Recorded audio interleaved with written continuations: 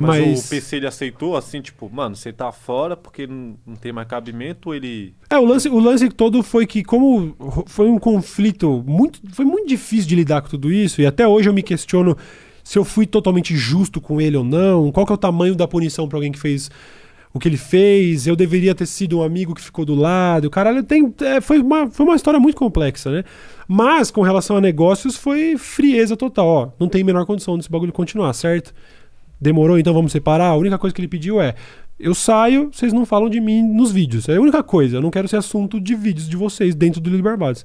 A gente concordou, fizemos um acerto de contas, tinha uma, bo- uma boa grana pra cada um receber mesmo. Tinha um caixa grande lá que a Snack tinha guardado, só de arrecadação de AdSense, merchan e tudo. E a gente até se assustou, falou: caralho.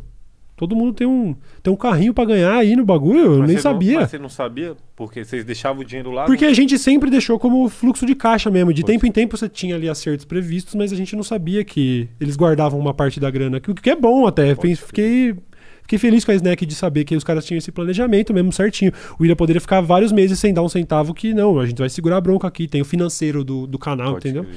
E aí, beleza, o PC recebeu um terço da parte dele, eu recebi um terço, um terço, aí a gente assinou um contrato novo agora, eu, Rafinha e Snack. E aí seguiu a vida. Pode. Foi essa a fita. E o Rafinha tá indo pra gringa direto, né? Uhum. É, tá fazendo um. Stand-up é, lá. stand-up, É, agora ele parou por causa da pandemia, mas mesmo quando ele tava nessa, já tava. A gente já gravava o William assim, ele, ele tinha que ver o filho dele, naturalmente. Então ele voltava sempre que dava, aí gravava uma diária de ilha. E aí o William a gente grava às vezes 12 episódios num dia, porque Caralho. é como se fosse pegar.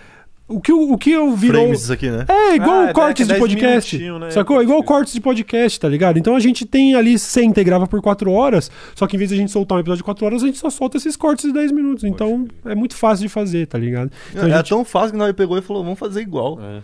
Não, mas nós, nós- era Ilha dos Arrombados. É? Ilha dos Arrombados, Nós mano. botou pra. Nós era doente, velho. Ainda bem que não bombou essas coisas.